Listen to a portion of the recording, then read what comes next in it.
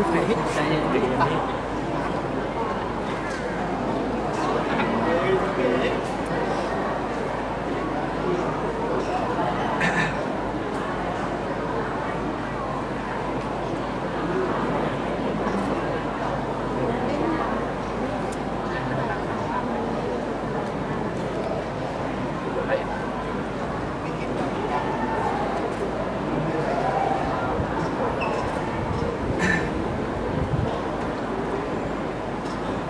า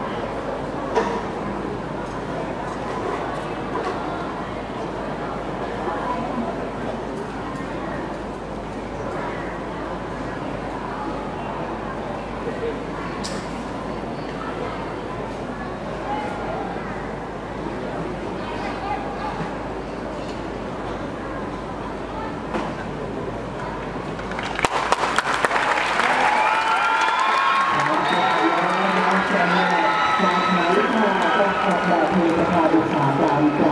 เทคโนโลยีอุตสาหกรรมนะครับ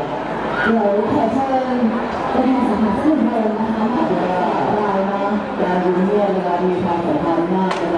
เพราะว่านอกจากจะให้ความสามัคคีกันในหมู่คณะแล้วเรายังฝึกความเป็นผู้นำด้วยที่โดยความพร้อมเพรียงก็เป็นปัจจัยหนึ่งนะครับสำหรับการดูเงียบ